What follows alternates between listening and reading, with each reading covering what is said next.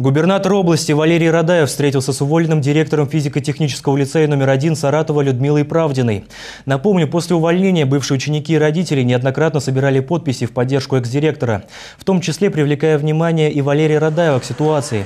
По информации пресс-службы главы региона, руководитель исполнительной власти поддержал позицию Людмилы Правдиной по отстаиванию ее прав на посту руководителя ФТЛ. На встрече обсуждалась деятельность учебного учреждения, его перспективы. Валерий Радаев дал высокую оценку труду руководителей лицея лицея и педагогического коллектива. Также к достижениям глава региона отнес создание на базе лицея Центра молодежного инновационного творчества, который позволяет школьникам раскрывать свой потенциал, приобретать навыки научного мышления и на практике реализовывать идеи. В результате нашего разговора он сказал, что деятельность моей организации центра в лицее физико-техническом была правильной, он ее поддерживает и поддерживает меня сейчас вот в той ситуации, в которой существует.